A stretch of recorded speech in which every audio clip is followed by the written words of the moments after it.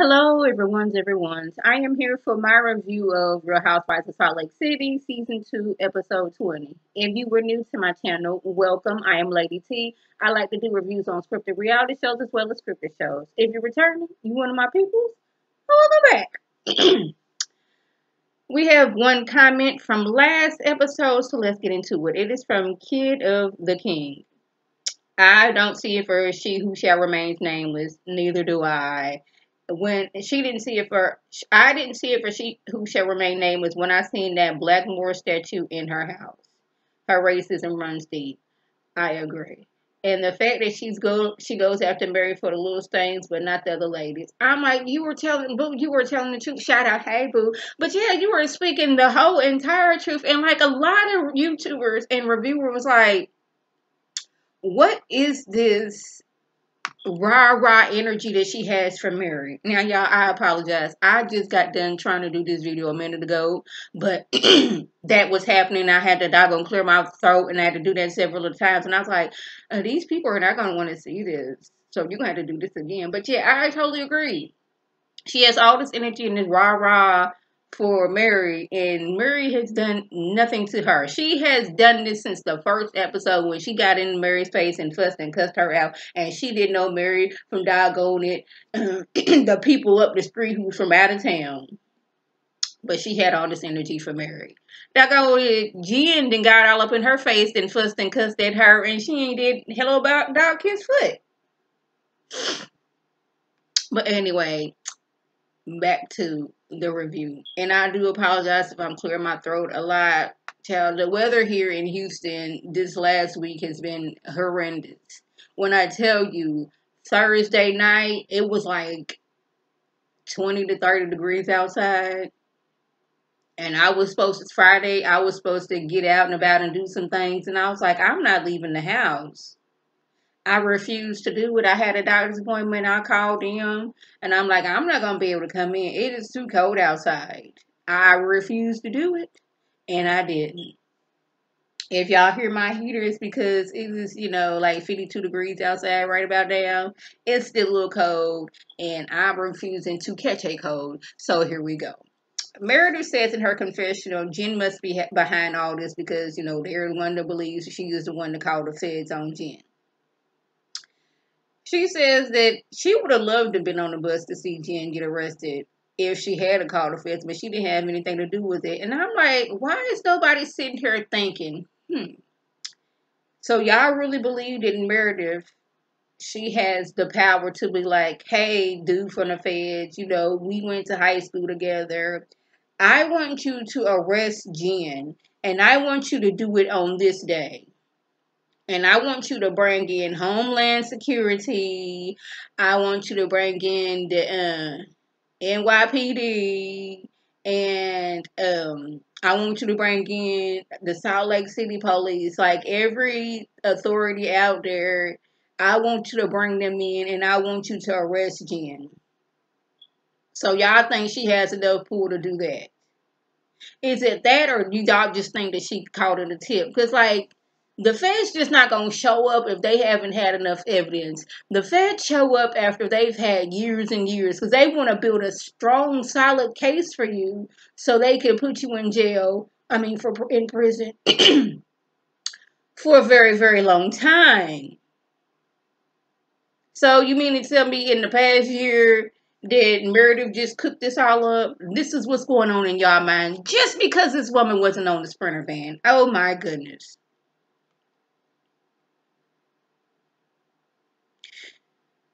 Lisa is mad because everybody was talking about Mary and no one had her back. I'm like, first of all, you are not friends with Whitney and you're not friends with Heather. The only free, the only reason that you three have, well, they are already cousins and friends. The only reason that you have like really somewhat been here for them is for y'all joint.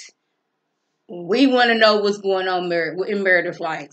We need to know A, B, and C, and D what's going on in your life. And it's just not making sense that now you are friends with Mary with Mary. And Mary said it just as plainly.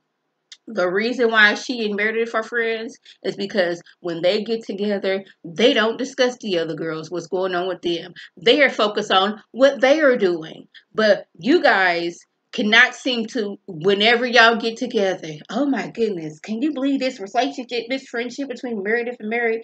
It is so weird. I can't believe it.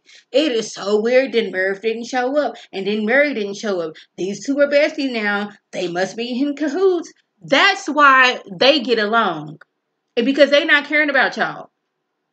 And like i see it like when I'm with somebody and I don't care about the other person, that other person ain't gonna pop up in my head because that's that's over there. I don't care. Me and you, we talking, we having a conversation, conversation, we having a good time. But they can't, they just cannot figure that out. Then she gets to yelling about how she's richer than everybody there and she don't need to be there. And I was like, if you feel that way, my darling, then leave. Yeah, I apologize. I had cut my, I had like bit my lip or something so I got like a sore right there. It's extra annoying. And for whatever reason, I don't know if it's showing up once, you know, I uploaded, but my lips are looking very ashy. And I, I assure you that my lips are not ashy. It's just for whatever reason it's showing up ashy. And I, I mean, I apologize for that, but just know this is a little, I bit my lip somehow and my lips are not ashy. Now, where was I? Oh, yeah, she talked about how she rented everybody. She don't need to be there.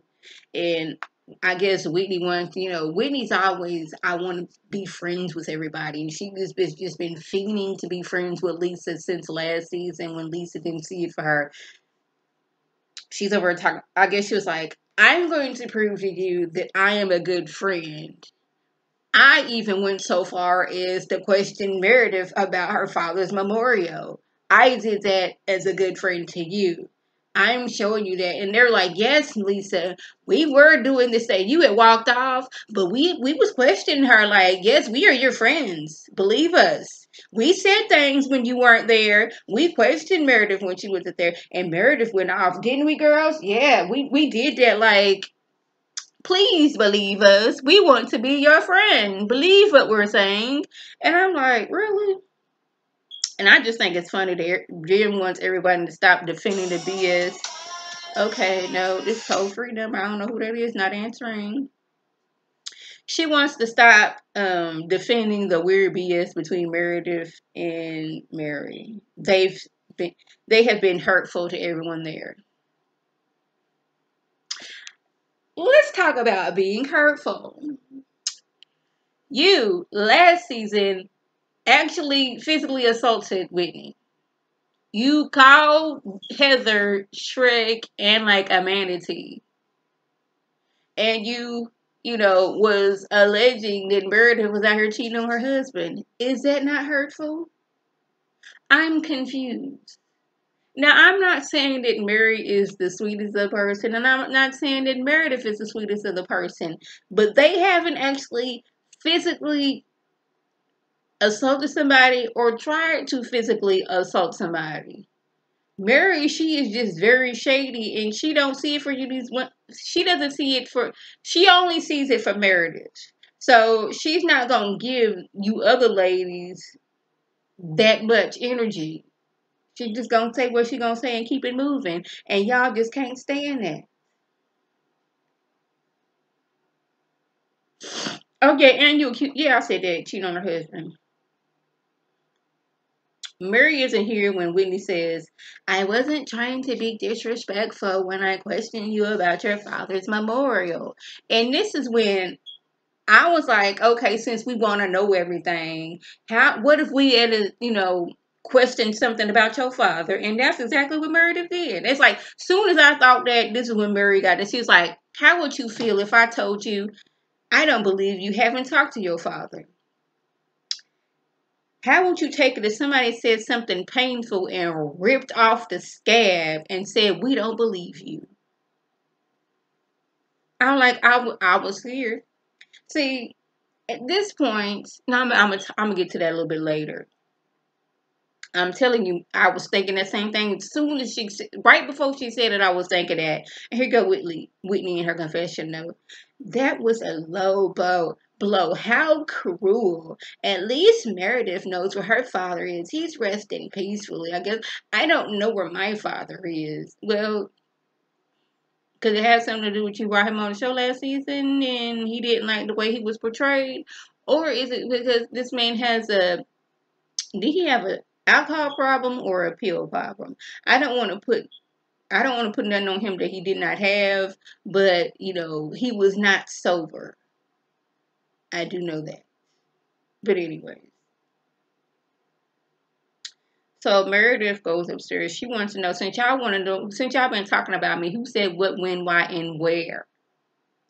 Meredith said it's disgusting for to be discussing someone's father's um no she this thing when she went upstairs she was like it's disgusting for the discussing someone's father and whitney was like did she want me to hire a private investigator throwing back at her that she hired a private investigator and here is the thing that the people are just like it's going over their head she hired a private investigator because her son was being stalked online, and I believe they may have been messaging him from a burner phone.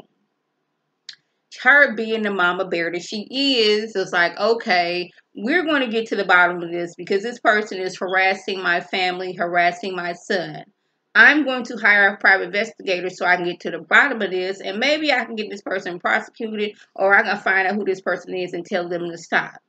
In the midst of that, is when she found her her private investigator was like, it's a likelihood that Jen Shah is the one who did this because she is the this is the way Jen types in her text message. It's I it, I don't have proof, but the likelihood that it was Jen is up there.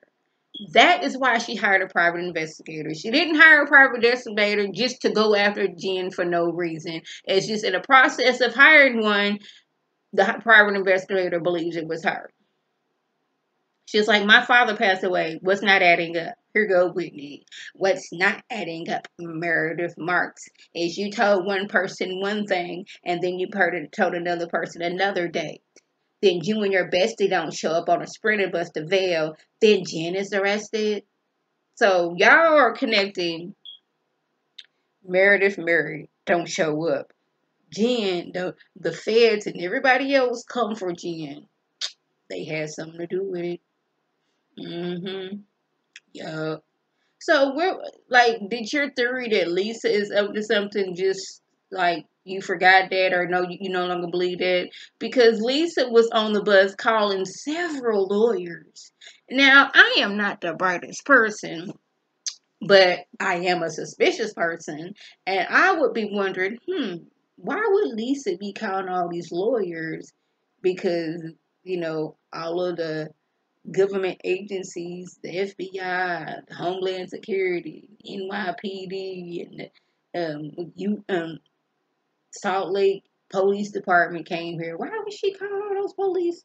Why would she call those, you know, lawyers for herself? But you just you forgot about that, or that no longer matters.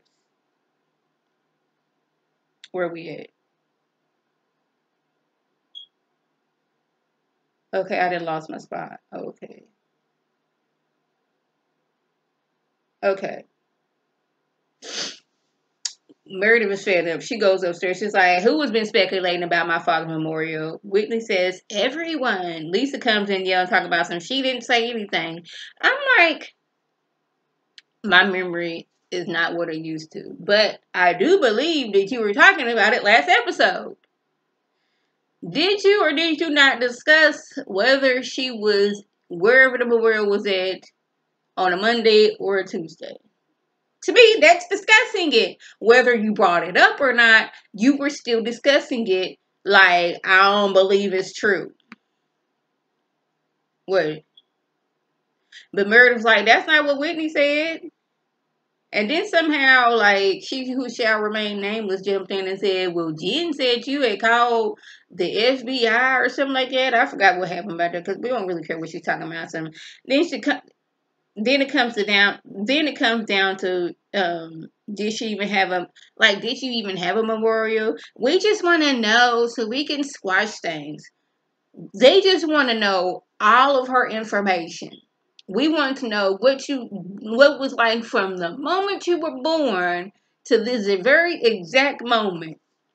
Now, y'all, I am a very nice person. I try my hardest not to be mean. I really, really do. But the way that these ladies were coming for her, this is when I've been been like, okay, you want to poke the bear. Now the bear is fully awake. I would have been like, well, Whitney, since we want to know about everyone's lives, when you were cheating on your first husband, was y'all at a hotel or was his house with his wife or your house with your first husband? I would I would have I would have done some mess like that. I would have went down the line and asked some doggone messed up questions. You know, since we you you ask and mess up and hurtful questions about me that are very disgusting. That whether I was at, whether I even had an actual memorial for my father or not. How about I ask some disgusting and doggone disrespectful questions to you? Where we at?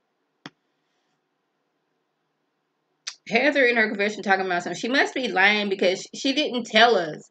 Why did she have to tell you? And like I said earlier, all that speculation, and not one of them thought maybe she just wanted to spend a little more time with her family. She didn't want to leave the memorial and come straight to doggone filming with y'all. This is when doggone Whitney is. Ooh, dang, I got a lot more to talk about. Where we at? Where is Mary? Where is Mary Cosby? Wait a minute. Where where is Mary Cosby? Okay. Why aren't you there for Meredith? Yeah, I gotta sneeze so bad and it's not coming. Mary's like, well, first of all, back up off of me with all that mess you got going on. That's what you're gonna do first. Like you drunk and you talking out the side of your neck. She didn't say that, but that was the vibe that she was getting from Whitney. You drunk, talking out the side of your neck. Back up off me. You rolling up off me and you don't want to. That's not what you want to do. And she's like, I ain't got time for this. I don't want to be there. Why are you even here? She's like, that was my attempt to like hang out with y'all, but I refuse this. And I am so merry with this one. Like, first of all, why would I want to hang out with y'all when I just seen y'all do my best good girl right that like that? Y'all are really sitting here and questioning whether she had a memorial for her father. And you think I want to sit around to mess like this? No, I don't. I, I don't at all.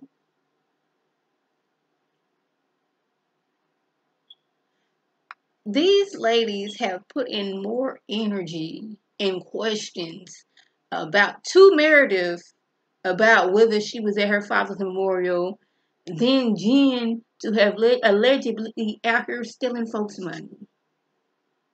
Isn't, isn't that funny? Y'all so focused on this. Nobody's like, so Jen, how's things going with you? Yeah, really?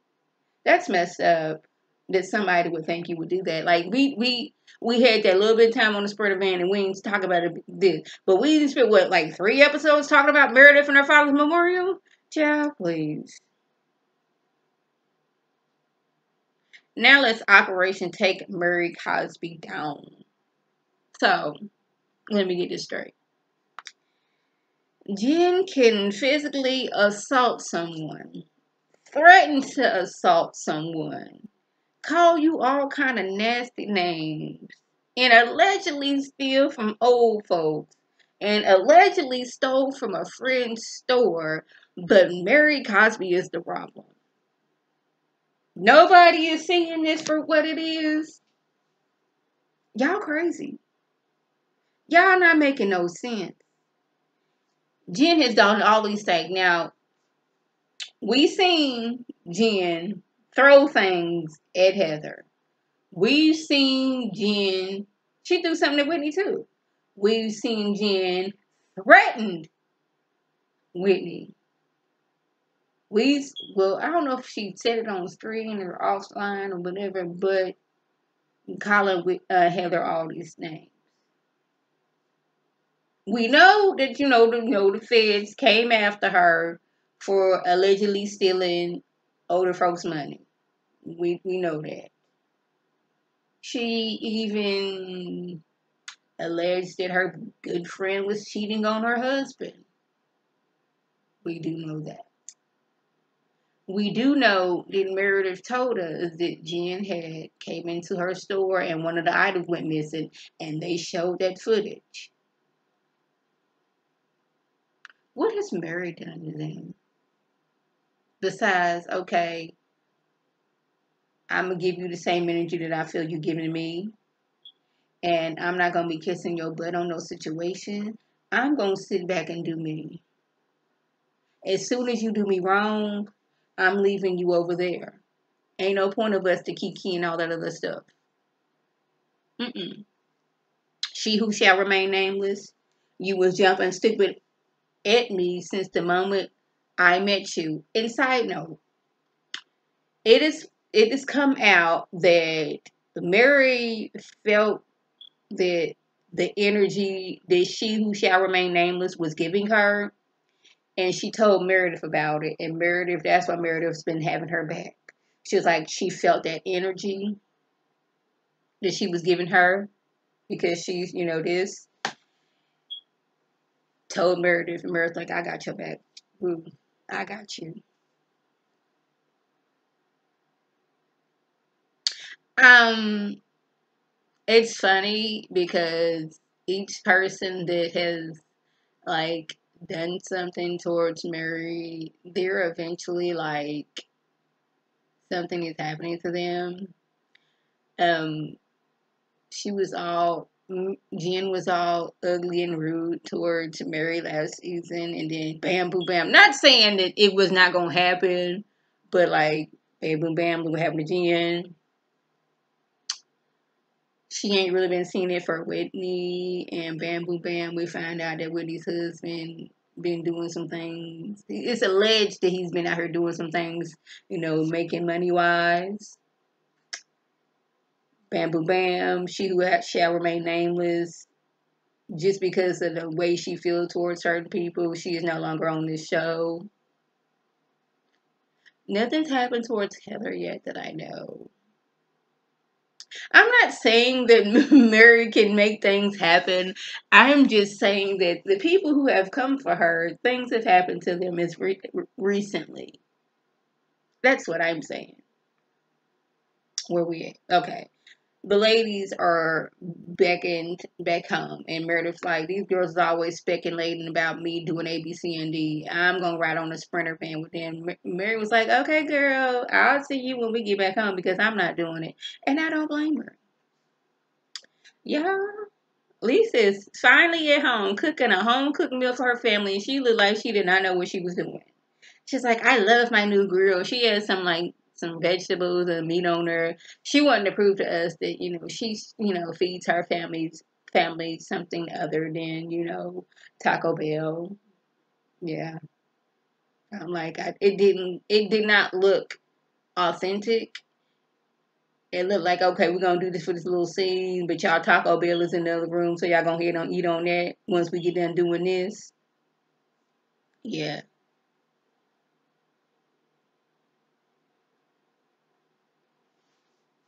Lisa is sitting here saying, telling John that she doesn't want to be a punching bag for Meredith and Mary when she literally told Jen that she can be a punching bag to her, for her, so she can feel loved. I'm confusion. Now, she did tell us. I'm not making this up in my head that she told Jen, Jen, if you ever just need to hit me so you can feel loved, you can do that. She told her that on the sprinter van after Jen had got all up in her face. Tell me I did not make that up in my head. But she don't want to be a punching bag to Meredith and Mary, but she will be a punching bag for Jen. And I, I was like, okay, girl, you just, you just talking now. You just making nobody sense. Meredith has Whitney and Heather over her house for drinks and like a muscle stimulator to apologize and clear things up. And I was like, bruh, if I could like have some machine that can make my abs like if give me a snatched waist and I didn't have to work out, child, you best believe I would want to do that. Yes, I would. Give me that machine. Then I'd be like, man, it probably be painful so I'll get out, and I'm not for the pain. But I just don't want to work out. I just want, I want to, uh, doggone, I want to be like I was when I was in my 20s, where I can eat everything and I was still small. But I can't do that no more. Meredith said that the memorial, her, the memorial was on the 29th, and Jen got arrested on the 30th. So that's like, oh my goodness, why would Lisa say that? But they did show footage um, while it was on the sprinter bus, and Lisa calls Meredith to let her know, and Lisa was like, okay, thank you. But that doesn't necessarily, like, she was like, Meredith, hey, Jen got arrested, A, B, C, and D. They said that was on the 30th but Meredith said that she wasn't even physically in um, Aspen at the time. She was in Vail. And I was like, I hope you're not lying, Meredith. I don't think she's lying about a memorial at all. I would hope not. But I also know how production on shows work. How they could have you making a face about something totally different and then somebody over here is talking and is making it seem like you making this face about that, or you didn't said something doggone five, six episodes, and they take a clip of that of you saying this and you not there and they piecing it together to make it look like something. I do know that happens on television shows. But it it that, what it looks like is that Lisa was talking to, to Meredith on Tuesday the 30th let me see this. On the 30th, about what went on. Now, I don't even know when this was supposed to happen. So let me just, I'm over here looking for dates and I don't even know what month it was, child. I know that it, it did seem like Meredith was like, okay, thanks. And this was on the 30th, and she said that she wasn't you know, wherever she was at. Now,